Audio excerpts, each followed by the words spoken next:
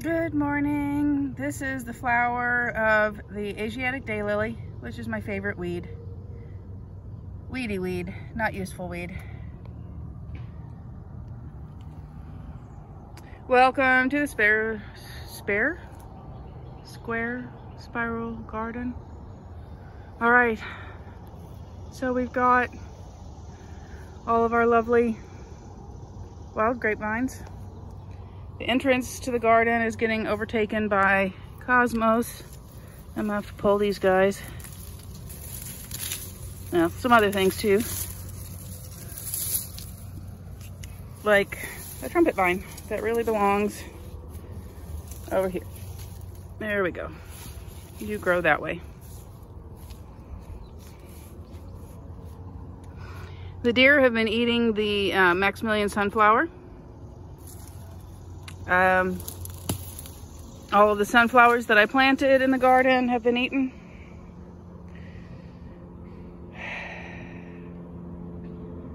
If you grew up reading Peter Rabbit,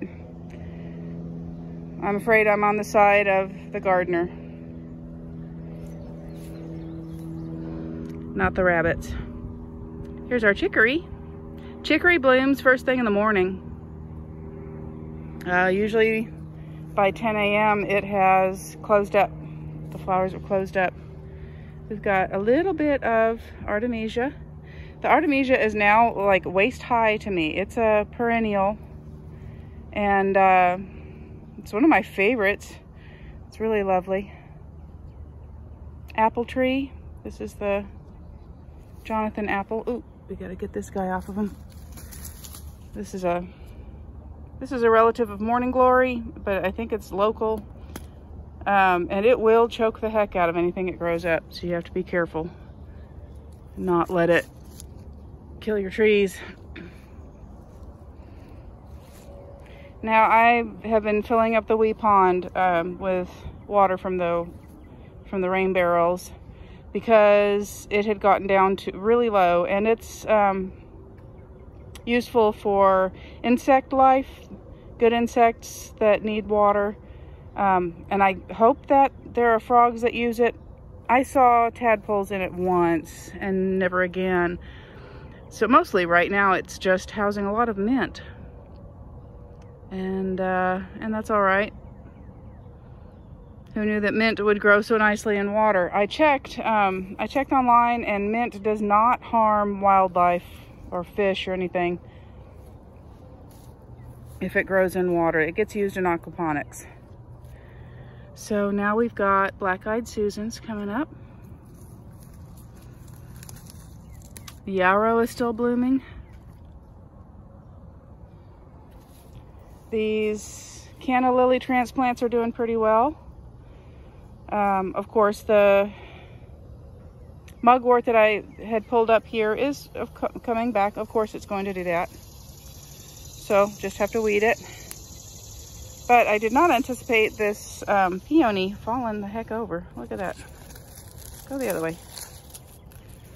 Gotta keep pulling up trees. So I've transplanted some cosmos over here. Um, they looked very poorly at first. They just flopped over and were like, no, life is terrible. And they finally did tear up. See, look, look, these cannas are getting, turning real, out really well.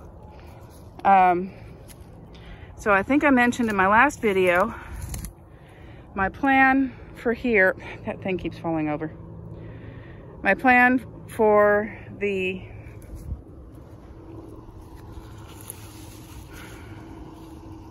what are these called? Jerusalem artichokes, sunchokes. That's why it's hard to remember their names because there's two different names. So my plan for the sunchokes is to keep them covered because the deer will chomp on them a lot. Um, and I don't think urine was enough to keep them off anymore. So my plan is next year to grow a lot of cilantro in here because they do not bother the cilantro at all. All right, we're coming around the back side of the garden here. I dug up some of the elderberries, three of them. Uh, unfortunately, one of them I did not, and when I put it in the pot, I did not completely cover the roots. So two of them have survived. I'm giving them to my neighbor. Um, but if he needs more, obviously, we have more. And look at these black-eyed Susans. Look at these elderberries. Look at the black-eyed Susans. Elderberries, black-eyed Susans. Elderberries, black-eyed Susans. Elderberry going to fruit. Here's the big elderberry tree. Fruit is still green right now. I think we still have some that are just starting to set. I don't think we have any flowers left on the big tree. Maybe way up there at the very top.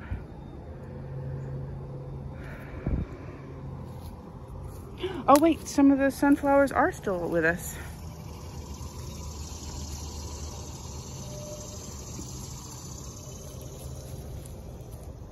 So these are some sunflowers that I had planted. I thought they got eaten up. I'm glad to say that they did not. None of the amaranth that I planted has come up. So I'm a little bit sad about that. Either that or it did come up and the rabbits ate it, which is a good possibility. I'm figuring maybe I can grow cilantro along here too. Here's where I have moved the um, mugwort. So the mugwort's gonna grow under the south side of the elderberry. Let that fill in here. It'll grow out in the yard too, but we'll just pull that up. But I'm figuring I'll put cilantro here as well. I gotta start using scent to help keep uh, pests out of the garden, the big mammal pests. This is, so that, that vine I pulled off the apple tree, that's what it looks like when it's young. I've been pulling up a lot of these lately. There's a roly-poly bug. And this is what it looks like when it gets a little bit older. So if you see this, or that, it's a good idea to pull it up. I'm not telling you what to do. But I'm telling you what I do. Oh, look, we got another Chinese princess tree. Luckily, these snap really easily. I mean, that's one of the things about the this tree is that it's very weak. The deer have been eating the tops off of the uh, black-eyed Susans as well. Not all of them. This one survived, I guess, because it got mixed up with, uh, with the um, hazelnut leaves. But yeah, where they're available, we're losing, uh, losing the Susans. Hey, I made a run. Maybe not all the Susans. I mean, these guys are blooming in spite of the fact that they got cut back. So this guy here, I'm very proud of. This is the milkweed. Um, when I tra first transplanted it, it seemed a little hopeless because it, it just wilted and died. And then it came back from the root. So this is its second year in the ground and it's doing really nicely. It's really close to the uh, Canna Banana Corner which is going to become the fig corner. Um, I'm going to be putting a fig tree in here and probably another one about where that black canister is. The So this is the serviceberry, the little serviceberry. Still suffering from the um, apple cedar rust. I guess I did not spray it as well as I thought I had around the outside of the garden here. Got Chinese yam, very choky. Um, I kind of sort of been pulling it up, but not regularly. I ought to. It's, um, I don't think the yams are edible. If they were, I would absolutely be digging them up and eating them. But from what I understand, they are not. Yams typically, if they really are yams, then they're, they're toxic. Um, the ones that are traditional yams from Africa, they have to be prepared a certain way. I think that it's a little bit like pokeweed, where you have to cook it a certain way and then it becomes edible. But if you don't cook it that way, then it can make you sick. Um, I don't know. I don't think it's deadly. I just think it's not, not going to be good for you. Ooh, spinning around. My asparagus doing nicely. Um, interestingly enough, the deer do not seem to be interested in asparagus. That kind of makes me happy. It's so pretty. It's so pretty, look. Look how pretty. You can just pet it. It's all soft. All right, coming back around. My boards are getting worn out. I'm gonna have to replace them with something. I'm gonna have to get bricks or blocks. Something that will last longer. They've done really, really well. They were old before I even got here. So the uh, wild lettuce is blooming.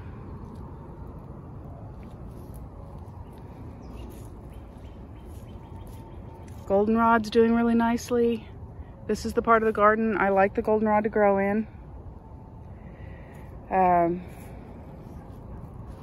it's a very beautiful plant when it blooms and it's uh, very important food for a lot of butterflies. So I'm glad to have it in the garden. And I want to show you over here, my raspberry is gaining ground. Um, I'm really hoping that it will continue to thrive and grow and get big. Um, it's the reason I have this here so I can always find it because it's, I think, five years old and this is as big as it's ever gotten. It's the coffee grounds. The coffee grounds are doing it a lot of good. I had a gooseberry over here. Pretty sure it is Gonzville. But yeah, I'm thinking fig tree here, fig tree down there at the corner. And I don't know, maybe, well then we've got this guy here and then the serviceberry up there. So that's a good four large, large plants around the edge of the garden. This is the southeast, southeast edge. The corners of the garden point to the four directions. So that's the south corner. This is the west corner. Uh, serviceberry, the big one. The one whom I'm always convinced that, oh, this is it, it's gonna die it keeps hanging on. And I keep pulling up this stuff.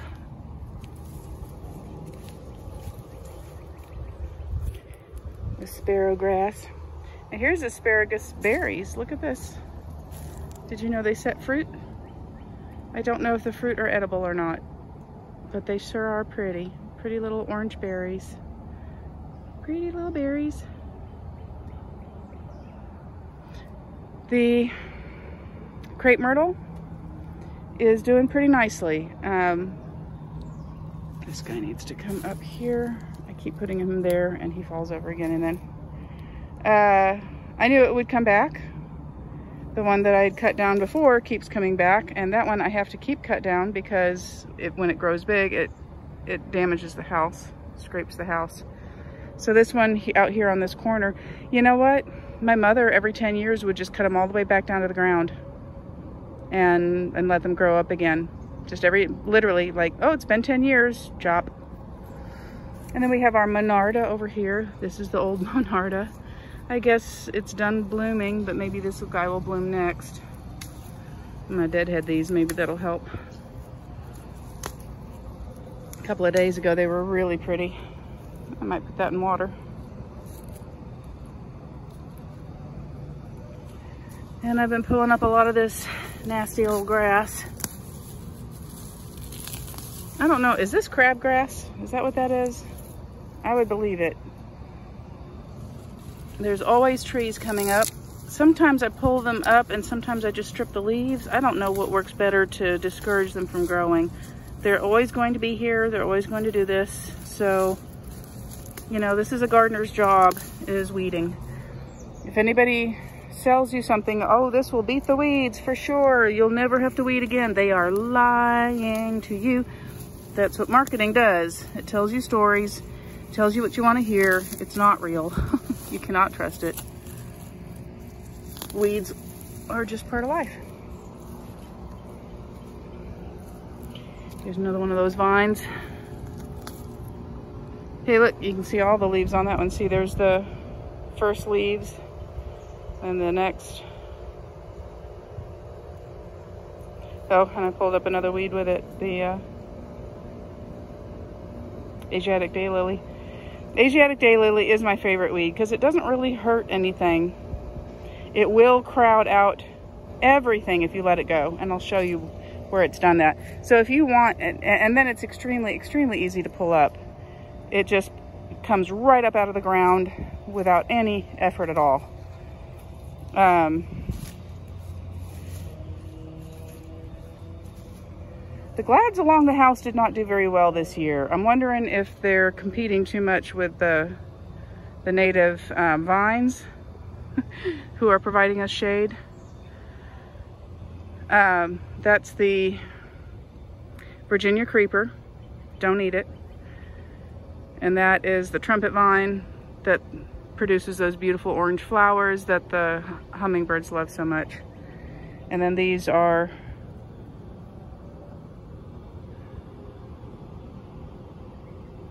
goldenrod. But yeah, we only got two or three flowers out of this. I'm thinking I need to move these because they don't get enough sun here. They're doing really well over here where they're close, more full sun, or they were doing really well. Of course, this is the other problem with glads. They get top heavy. But see, these guys bloomed more and they bloomed longer. I should bring those inside and put them in a pot as well. This, whatever this is, has obviously gone to seed. I'm guessing it's some kind of a dock. It looks a little bit like um, dock. So we'll have more of that next year. Now we're back all the way back around to the beginning of the garden where the chicory is. So yeah, cilantro, cilantro. I'm picking these and putting them in under here and hoping that next year we will have a really nice cilantro crop around the uh, sunchokes. Just toss those in. They don't like this netting. Um, you can see where they're getting wrinkled. But they also don't like getting eaten by uh, deer. Um, what are you gonna do? I don't have any way to tent this up any higher. If I did, then they, the deer would be able to get underneath. So that's my solution for the time being. What was I gonna show you next? Oh yeah, so somebody gave me some tomatoes and I put them in the garden, watered them in really well.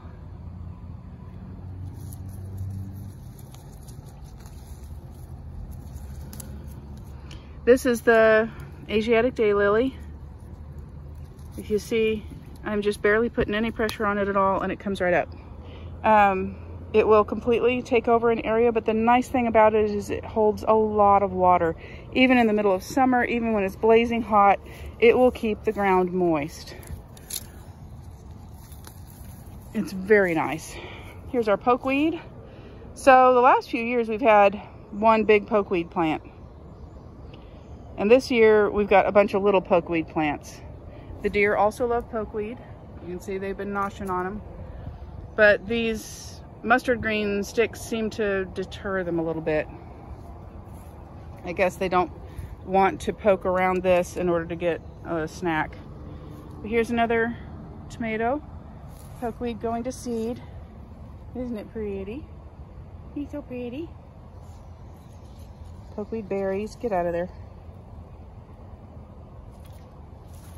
There's another tomato. I had planted beans all around here. I have one bean plant. I'm guessing rabbits eat them. I had planted eight different ones. Um, four of them came up. One of them has survived. I don't know if it'll continue to grow. Rabbits and or deer have been eating the uh, violets. That one's made a comeback from having all of its the leaves eaten off. There's another tomato, tomato, tomato, tomato. So there's six here and there's one in the back.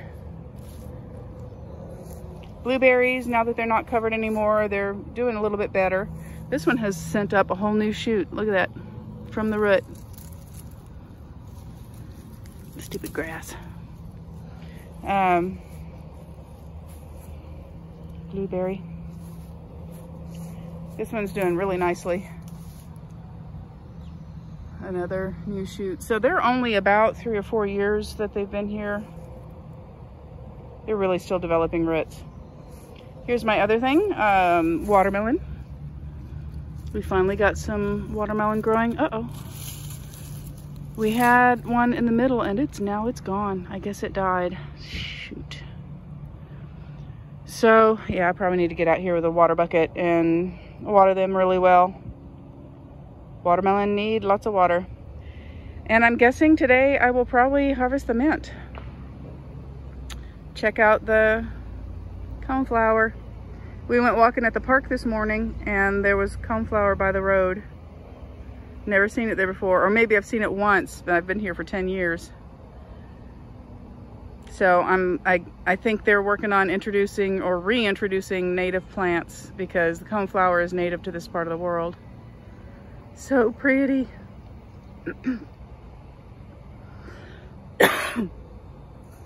All right, well, that's the garden. I figured I would go around the a different part of the garden today than I usually do. Hope you enjoyed that. I'm choking on something, on air, I think.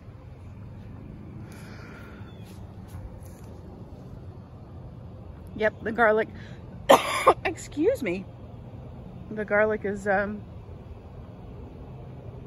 still gone to seed. Oh, so this is where I pulled the cannas from, and look at this. These guys coming up. I guess I missed one. Two. All right.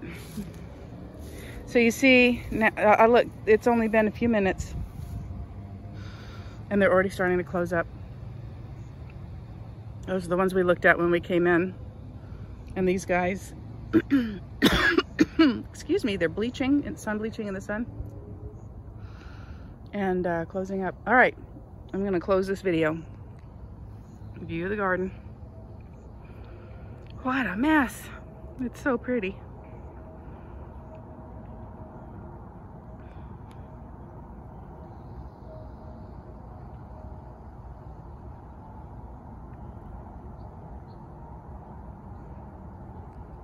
Be well, y'all.